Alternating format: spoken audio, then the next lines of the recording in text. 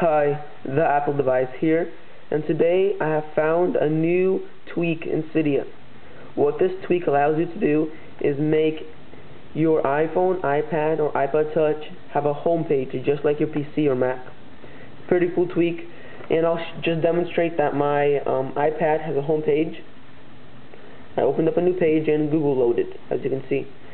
The, the tweak is called Home Page in Safari just go ahead and search it in Cydia and you'll find it.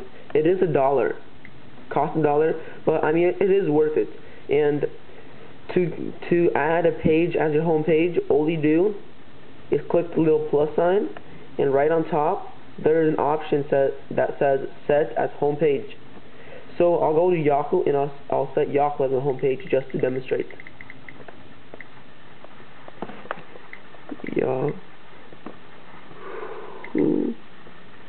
Just click on that. Click on that first one. Letting it load. Then I'll click Add, Set as Home Page.